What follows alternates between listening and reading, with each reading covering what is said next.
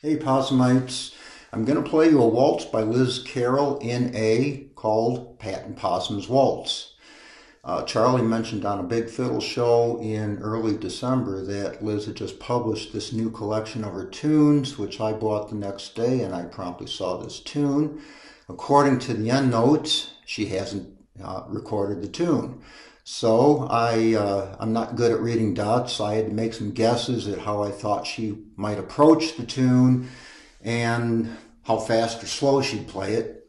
And this is uh, my best guess, what I came up with. I'll follow that up with, I know this isn't an Irish session, but um, I'm playing an Irish waltz. I'll play an Irish reel, which I like, the uh, Wise Maid in D.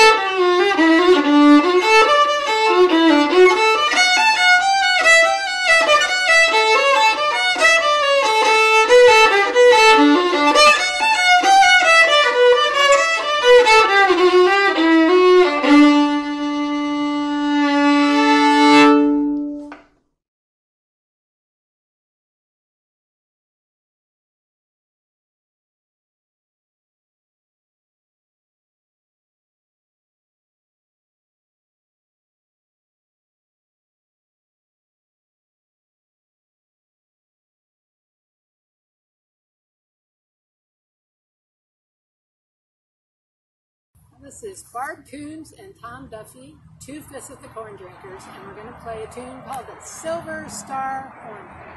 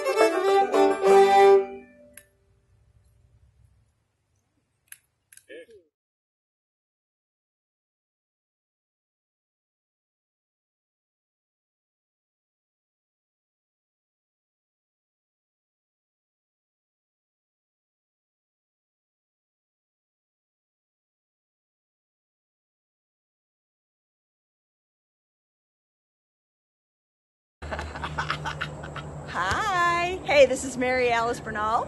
Joe Sartino. And we're in Rutherford County, just south of Nashville, Tennessee. We've got a great Lonnie Robertson tune for you here in A called Saddle Old Kate. Uh, but, but before we play it, we wanted to give a huge shout out to Charlie and Pat, all the hard work that they do, all the live casts, all the teaching videos that they put up on patreon.com. $4 a month. $4 a month. I ask you, where can you go to get a lesson for $4? Joe? I don't know. Nowhere. Nowhere. All right. Thanks for keeping old time tunes alive, everybody. And uh, thanks for letting us feel like we're a part of the best jam in the whole country every week. Saddle Old Kate, everybody. Great jam tune. Mm, let's see. Bum, bum, bum.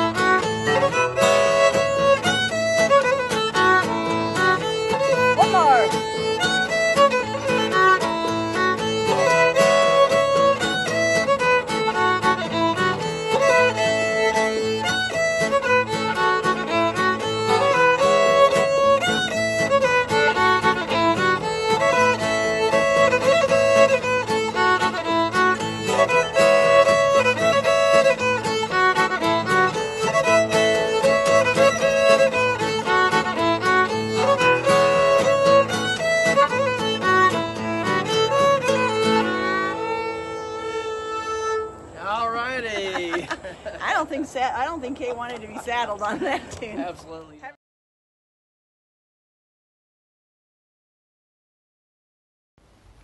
Hi there, I'm Darrin Goodman, coming to you from Fort Collins, Colorado, on a bright, sunny, snowy afternoon. It's just warm enough to be outside here, which is sure nice. Uh, I'm going to, uh, well, first I'd like to say thank you to Pat and Possum for inviting me to play a tune for you. I'm going to attempt to play a uh, fiddle tune by Alabama fiddler Ralph Wyden. And this is a tune I really enjoy called Willow Creek. It's in the key of D. And uh, you can actually uh, find this one on the Field Recorders Collective. So here we go Willow Creek.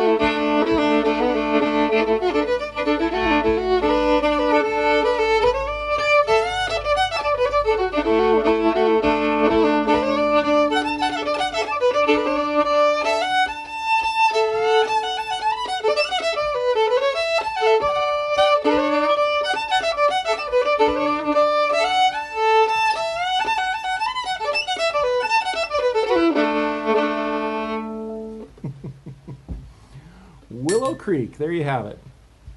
I hope everybody's doing well and that you've had a wonderful holiday season and that you're staying warm this winter. Talk to you soon. Thanks.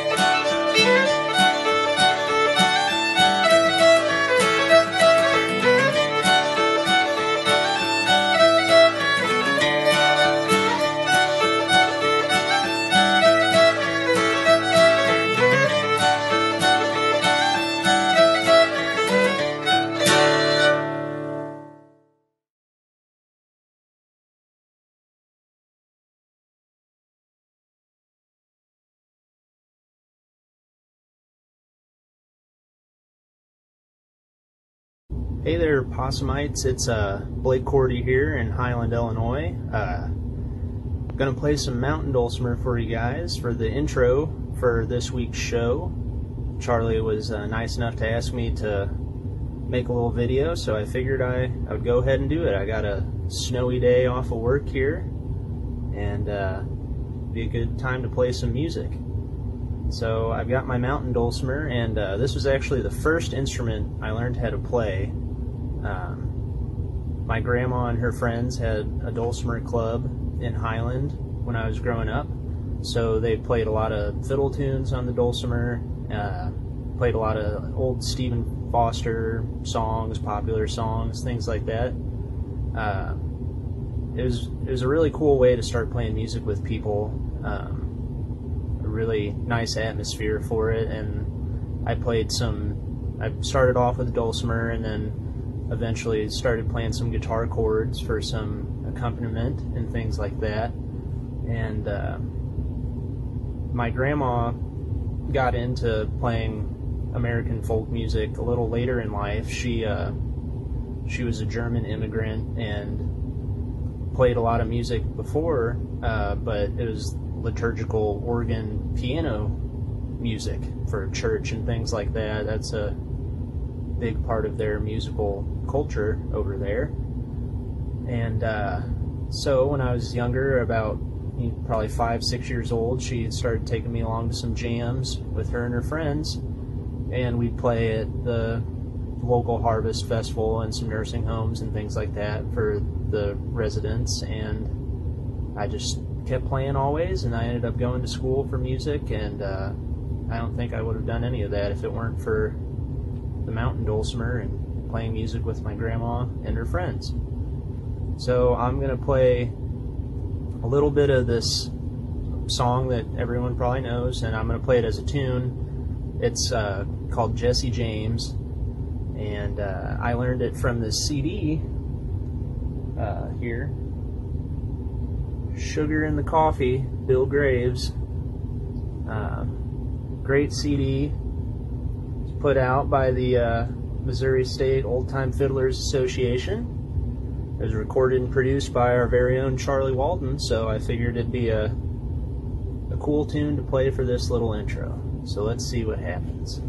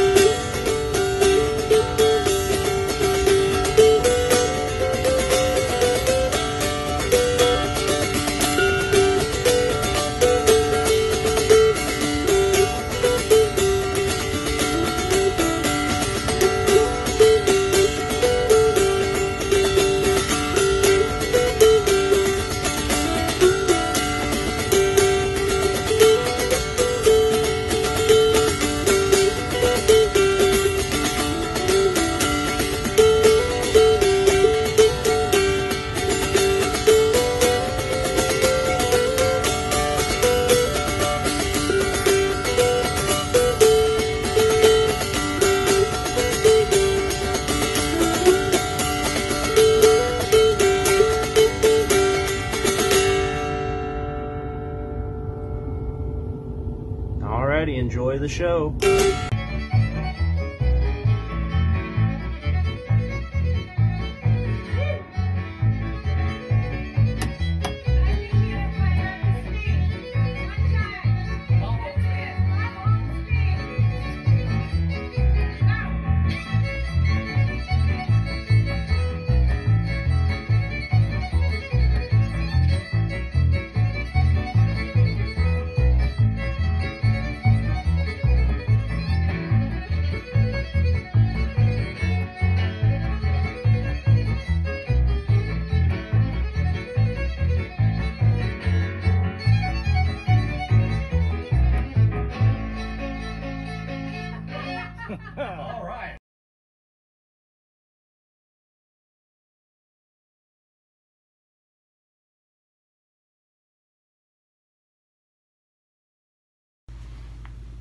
Howdy, folks. This is Wichita coming to you from the hills of West Virginia. I'm here to try to take your mind off the pandemic for a few minutes by singing you a cheerful little ditty about food poisoning. You know, there's a renowned microbiologist who often watches the Big Fiddle Show, so chirps, if you're tuned in, this one's for you. In these days of indigestion, it is oftentimes a question as to what to eat, what to leave alone. Each microbe and bacillus has a different way to kill us, and in time they'll always claim us for their own. There are germs of every kind on any food that you will find in a market or upon a bill of fare. Drinking water's just as risky as the so-called deadly whiskey, and it's often a mistake to breathe the air. For some little bug is going to find you someday. Little bug will creep behind you some day. Then he'll send for his bug friends and all your earthly trouble ends. Some little bug is going to find you some day. The inviting green cucumber has most everybody's number, and the sweet corn has a system of its own. While the radish seems nutritious, its behavior is quite vicious, and a doctor will be coming to your home. Eating lobster cooked or plain is only flirting with ptomaine, while an oyster often has a lot to say. And the clams we eat in chowder make the angels sing the louder, for they know that we'll be with them right away. For some little bug is going to find you someday. Some little bug will creep behind you someday. They eat that juicy sweet pineapple, and a sexton dusts the chapel. Some little bug is going to find you someday. When cold storage vaults I visit, I can only ask, what is it? Makes some mortals fill their systems with such stuff. Now for breakfast, bacon's dandy, if a stomach pump is handy, and a doctor can be summoned soon enough. Eat a plate of fine pig's knuckles, and the headstone cutter chuckles, while the gravedigger makes a mark upon his cuff. Eat that juicy red bologna, and you'll wear a wood kimono while your relatives start scrapping over your stuff. Or some little bug is going to find you someday.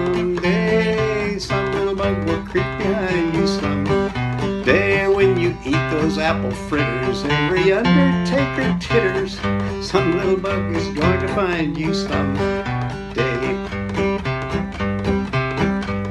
All those crazy foods they fix will float us across the river Styx or send us climbing up the Milky Way. And those meals they serve in courses mean a hearse and two black horses. So before a meal, some people always pray. Luscious grapes cause appendicitis, and their juice leads to gastritis. So there's only death to smite us either way. Fried liver's nice, but mind your friends will soon ride slow behind you, and the papers then will have nice things to say. For some little bug is going to find you someday. Some little bug will creep behind you someday. Eat that sauce, they call it chili. On your breast they'll place a lily. Some little bug is going to find you someday.